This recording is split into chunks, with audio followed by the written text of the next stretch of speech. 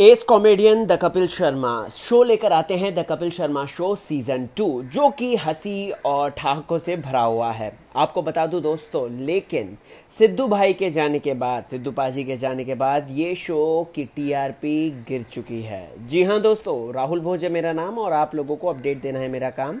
सबसे पहले आपको बताना चाहूँगा दोस्तों कि द कपिल शर्मा शो में एक रिप्लेसमेंट होता है, बहुत बड़ा रिप्लेसमेंट होता है। जनता नाराज़ थी जब सिद्धू पाजी ने बयान दिया था, जो कि मैंने आपको बातें बताई हैं।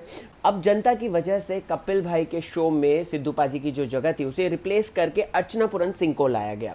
आपको बता दो दोस्तों लास्ट हफ़्ते जो टीआरपी रेटिंग थी वो सिक्स पायदान पे थी, यानी कि the Kapil Sharma show six number पे था।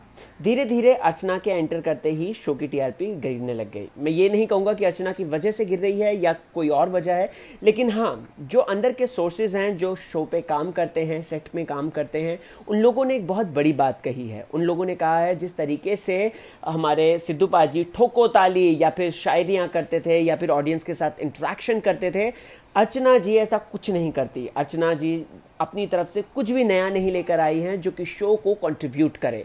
आपको बता दो कि शो में सिद्धू पाजी की जो लतीफ़े होते थे, जिस तरीके से जुगलबंदी होती थी द कपिल शर्मा के साथ जिस तरीके से ऑडियंस के साथ वो बातचीत करते थे, लड़कियों पर जिस तरीके से वो शायरी प्रेजेंट करते थे तो ये बात दर्शकों को बहुत ज़्यादा जचती थी और ये केमिस्ट्री दर्शकों को पसंद आती थी। लेकिन जब से अर्चना आई हैं, ऐसा माहौल ही नहीं है सेट पे।